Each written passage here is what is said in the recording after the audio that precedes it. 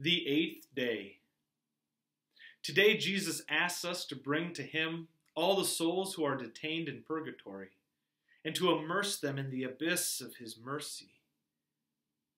All these souls are greatly loved by Christ. They're just making retribution to His justice. And it is in our power, by our prayers, to bring them relief. And so we're asked to draw upon all the indulgences from the treasury of our church and to offer them on their behalf. Purgatory is perhaps one of those things that's, uh, well, maybe most misunderstood. Uh, usually, when we think of purgatory, I guess a lot of people think of some place that's kind of bad. And for good reason. I mean, we hear words like, well, souls being detained in purgatory, and being detained is bad.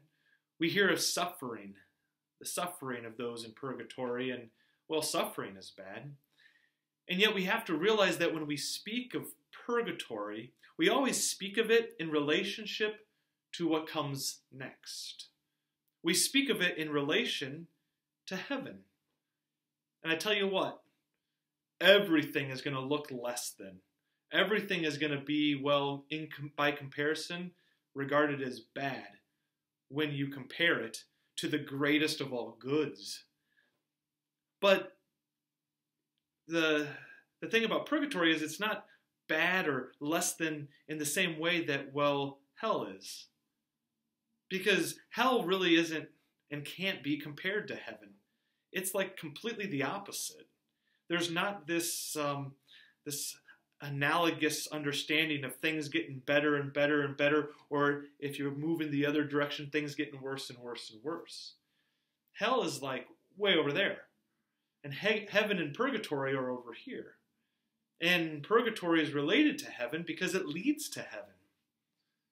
You know, hell is a place where well people go by virtue of their choice to reject God, to have nothing to do with his life to have nothing to do with love, to have nothing to do with mercy, to have, well, nothing to do with all that is good and true and beautiful. Even though that, that decision doesn't make sense, uh, not to us, not to anyone, because it's, well, the opposite of sense. It's the opposite of reason to reject the good. But that's over there. That's hell. When it comes to purgatory, purgatory is the place that we go to, well, pay our debt, so to speak, due to sin. And that's something that we shouldn't fear, but actually look forward to, because it's something that we do in the grace of Christ. You know, I've often thought purgatory isn't a place that is worse than where we're at. Sometimes we fear purgatory because we think it's going to be worse than where we're at. It's actually better than where we're at. Because yes, you still have suffering. Yes, you still are well apart from what you truly want, what you truly desire to attain, which is heaven. But you're fully given the grace of Christ that you need. You're fully given the life of God. Little by little, at a greater magnitude, at a greater ability to participate. It's a place for us to kind of strengthen our soul to be able to actually, well, live that heavenly life. You know, sins and the punishment due to sin is really just the weakness that sin causes in us. You know, if you don't work out, you're not going to be able to get up and just run a mile. You might have to work up to it. And that's kind of what purgatory is in relationship to heaven. Because of our sins or because of our attachment to the world, we might not be well capable of fully experiencing heaven just like that.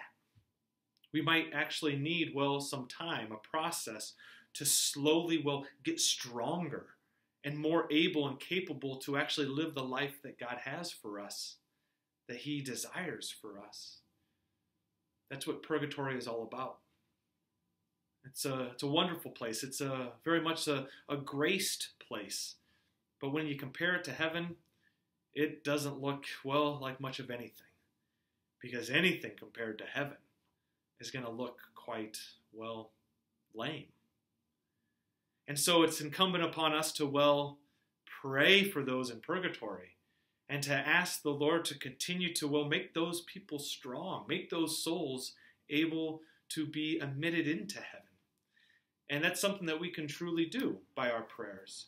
When we unite our sufferings to their sufferings and their sufferings to the sufferings of Christ, we open ourselves up to that grace that we need to be strengthened for the life of heaven. And so let us do just that. Let us pray for them. Let us ask them for, for their prayers. And so, united by that desire to live in grace, we might all at last attain that perfection of God's eternal banquet feast, heaven above. Let us pray. Most merciful Jesus, you yourself have said that you desire mercy. So I bring into the abode of your most compassionate heart the souls in purgatory, souls who are very dear to you, and yet who have to make retribution to your justice. May the streams of blood and water which gush forth from your heart put out the flames of purgatory, that there too the power of your mercy may be celebrated by all. Eternal Father, turn your merciful gaze upon the souls suffering in purgatory, who are enfolded in the most compassionate heart of Jesus, and I beg you, by the sorrowful passion of Jesus your Son, and by all the bitterness with which his most sacred soul was flooded, manifest your mercy to the souls who are under your just scrutiny. Look upon them in no other way but through the wounds of Christ, your dearly beloved Son. For we firmly believe that there is no limit to your goodness, to your compassion. We ask this through Christ our Lord. Amen. In the name of the Father, and of the Son, and of the Holy Spirit. Amen.